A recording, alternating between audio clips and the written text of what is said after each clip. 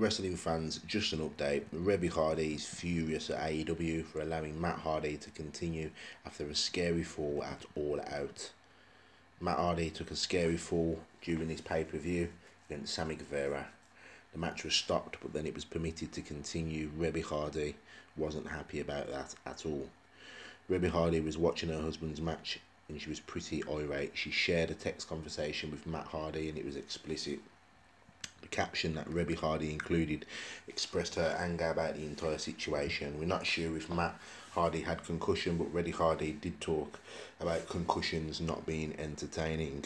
Let's be absolutely fucking clear. There is nothing entertaining about the concussions. Shame on everyone in that building. Goddamn. This was a scary situation, and it is a wonder that AEW allowed Matt Hardy to continue. I'll keep monitoring this situation. Hopefully Matt Hardy is okay. Give the video a thumbs up, hit that bell, share, subscribe.